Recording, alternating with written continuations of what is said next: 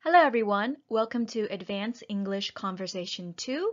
This is the orientation video for the 2021 school year. Before we begin, I just want to go over this lecture's content.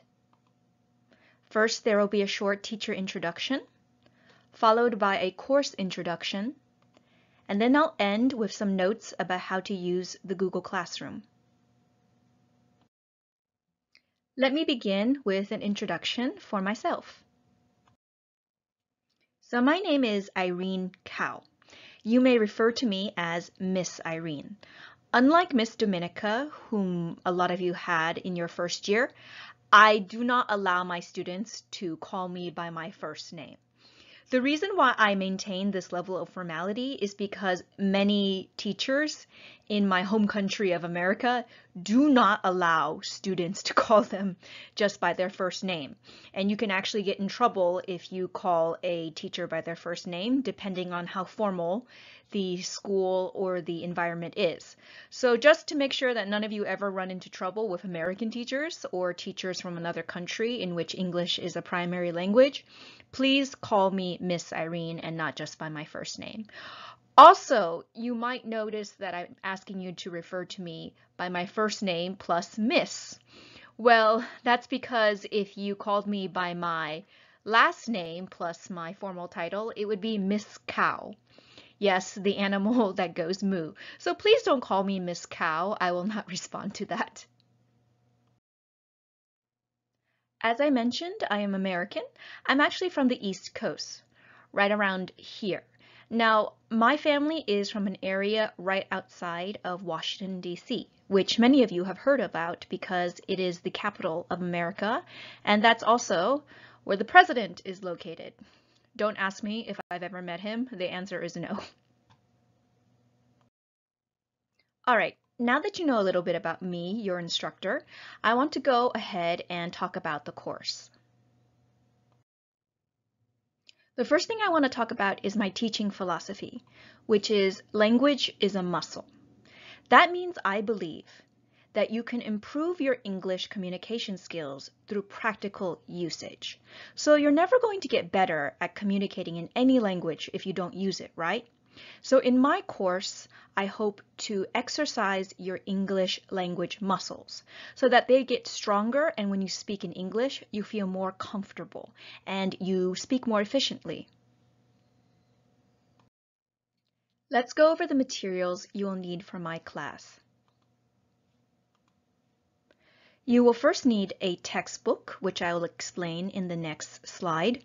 You will need this textbook in every class unless I tell you otherwise. You will also need, in every single class, a thin lined A4 size notebook. Now this notebook is extremely important and I'll talk about that in another slide. You will also need one A4 size folder. This is for handouts, particularly those pertaining to your speeches. You will also need pens, either green or blue, and pencils. Also, on certain days that are designated for research, you are allowed to have a laptop or another research device to connect to the internet so that you can do research for your speeches. You may not have them in every single class, only on the days where I say they are allowed. Let me talk about the textbook now. So the textbook is in the same series that you used in the first grade. It's called World English 3. You can find this book in the stores at the front of the school, so you can buy them there if you are looking for them right now. You will primarily be using the textbook for its themes and for its lesson goals. We don't base everything we learn in class on the textbook, and the reason why is because I like to use my own custom materials, but we will use the unit themes, and the lesson goals. Regarding the notebook that you'll use in my class, please pay attention. Do not buy a thick notebook. Please, please, please buy a thin notebook. The reason why I am setting strict requirements for thinner notebooks this year is because I have been carrying the notebooks for many years up and down the stairs of Daewon and it's starting to cost me some pain in my back. So I'm asking all the students to please help me by buying thinner notebooks starting from this year. The notebooks also be must be A4 sized, which means that you should be able to put a regular piece of printer paper inside. The reason why is because sometimes when we have worksheets, I'll need you to either tape or staple them into the notebook.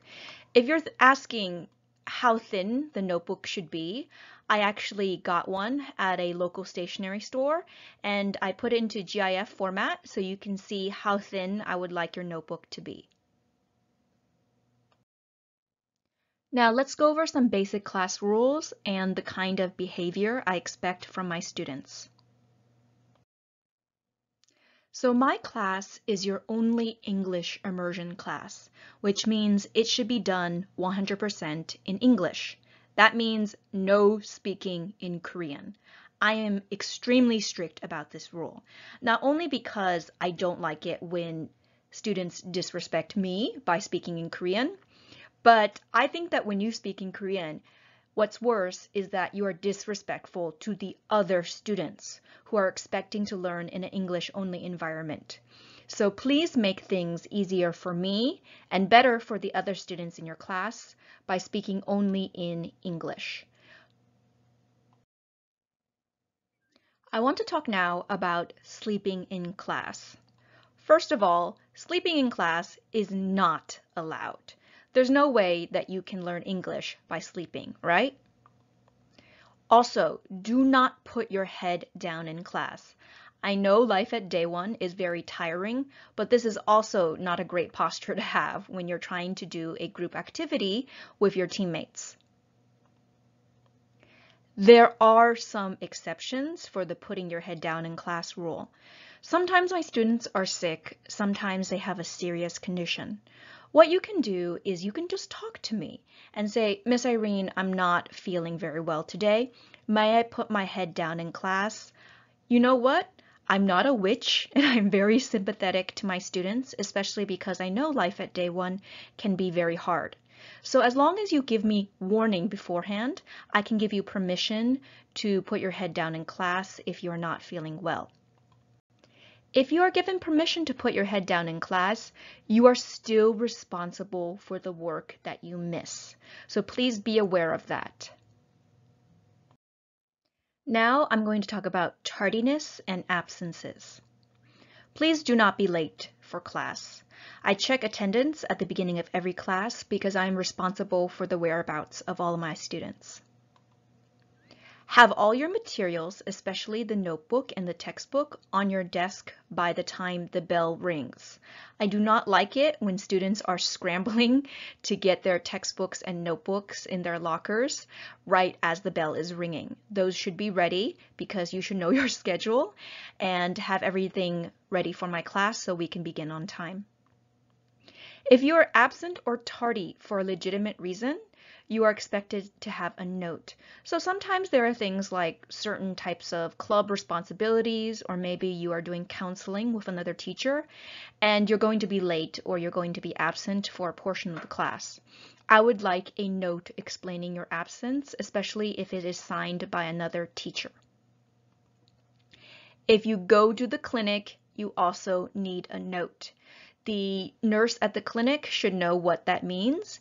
And even if it's written in Korean, I will keep it for my records to make sure that you are not outside of school or you didn't go to Lotte World or somewhere ridiculous when you're supposed to be inside the clinic.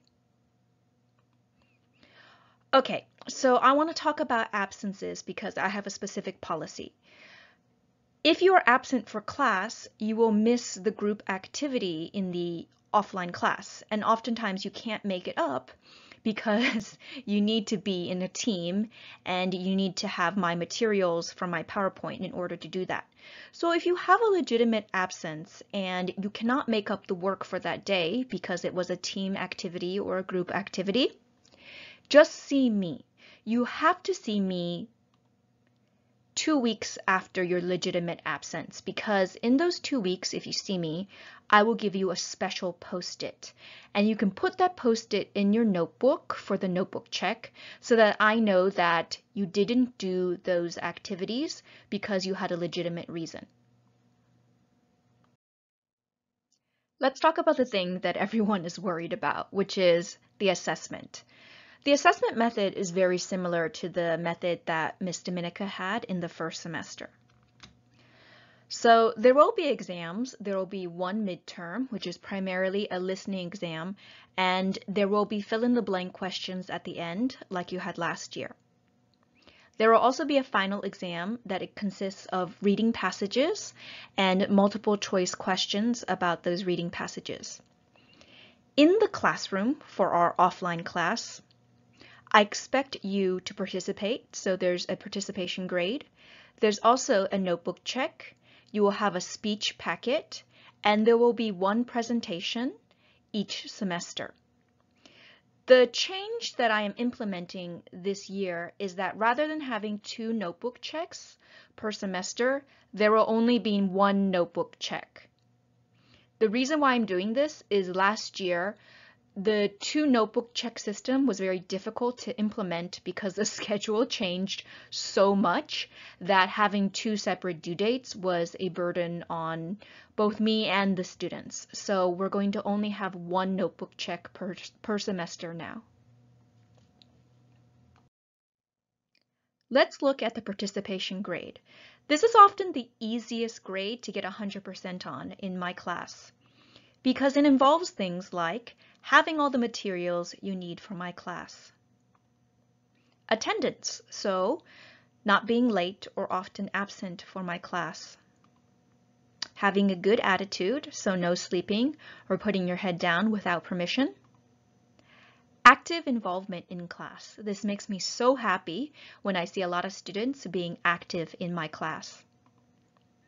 English engagement, so no Korean.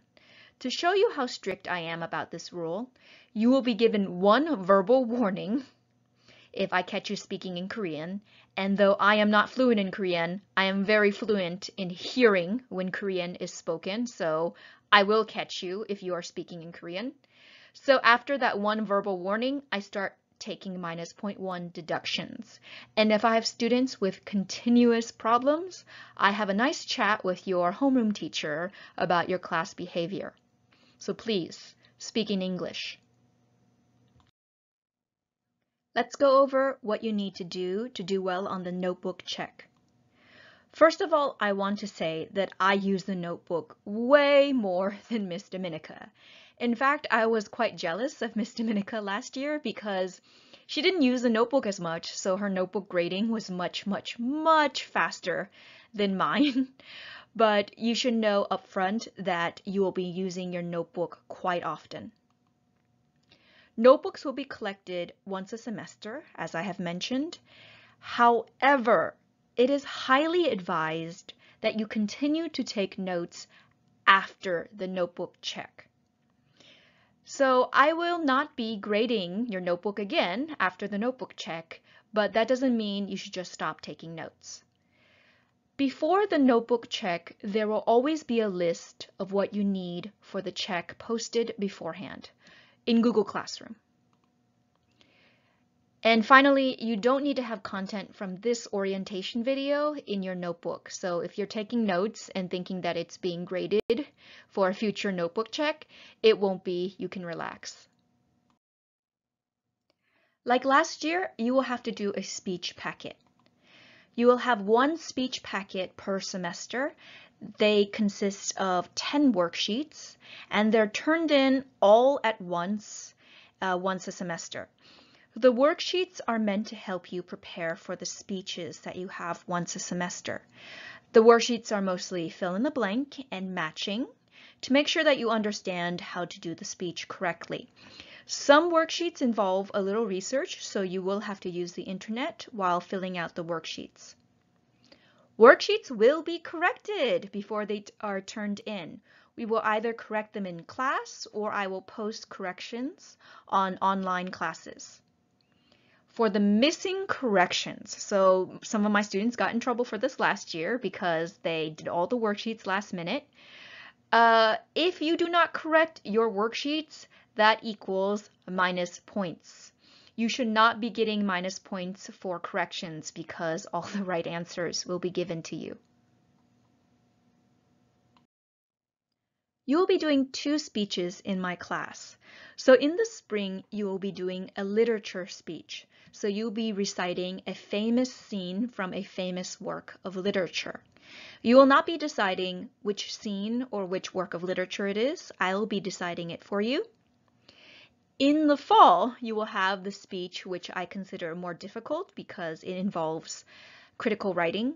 It is the persuasive speech. Yes, it is the MMS. So you will be having MMS again in the fall. My MMS is a little more difficult than Miss Domenica's MMS. I will be talking to you about the topics later and how to prepare for this speech. Now, while this speech is quite, it's a significant amount of work, a lot of my students are really proud of their MMS at the end of the year, and they always want the topic of their MMS described in detail on the transcript because they actually find their work very useful and something very good to have for their college transcript. Quizzes! Last year, I did not give out a single quiz to any of my students, and that's because all 10 of my classes were extremely well behaved. I expect the same for this year. Quizzes are a last resort for me.